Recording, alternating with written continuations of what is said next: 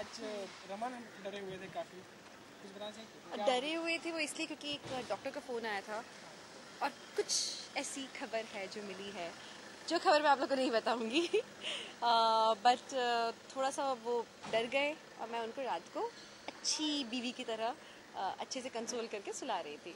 सपना देखा था डरावना ऐसा कुछ? हम्म, कुछ नाइटमेयर टाइप का आया था उनको। तो उसके बारे में कुछ ज़िक्र करना चाहेंगे मैं कुछ भी नहीं बताऊँगी इस बारे में आप लोगों को कुछ भी नहीं बताऊँगी। इससे पहले एक सीन हुआ था जब डॉक्टर का कॉल आता है? तो उसके बारे में बताना चाहिए क्या कुछ? हाँ नहीं uh, कुछ आता है कॉल वो क्या है मैं वो भी नहीं बताऊँगी यार तुम लोग क्या सारी सारी रिलेशन करवा लोगे अभी? आज सैटरडे कल संडे कल तुम लोग प्ले कर दोगे।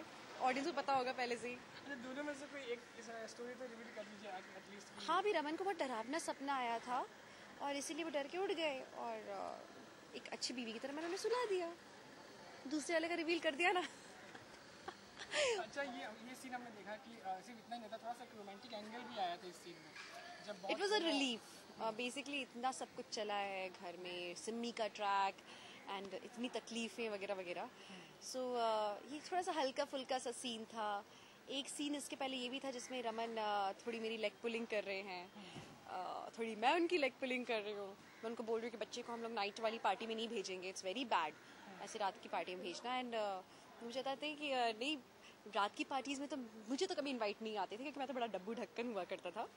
एंड लेकिन मेरा बेटा बहुत स्मार्ट है handsome and then he told me about some love letter and there मैं थोड़ी सी यू नो आ गई वो जलन वाले ट्रैक में लेकिन मैंने दिखाया नहीं बिल्कुल। पता नहीं लगने दिया लोगों को कि मुझे जलन हो रही है।